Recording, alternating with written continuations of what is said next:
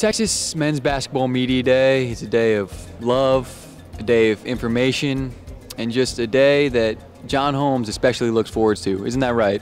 Not at all. Not at all.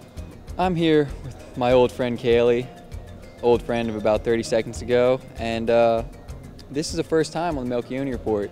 An interviewer who does it for her living getting interviewed for someone who does it for the love of the game. Are you a little nervous to be on such a world renowned show? Absolutely. You're making me nervous.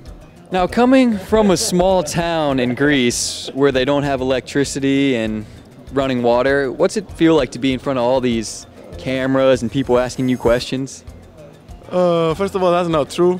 We got electricity and we got water. That's not true. You're just lying. But I feel really nice here. You know, it's really nice to to uh, feel really good to start the season right now. Mr. McClellan, here in the back, uh, what is the capital of the state of Texas? Austin. Okay, thank you. Thank you, that's all. Great, good interview. But do you ever really get comfortable with such a high intensity show like mine? Um, yeah, I feel like your show is not really great, so I probably get used to it kind of early. This probably was the easiest thing to do.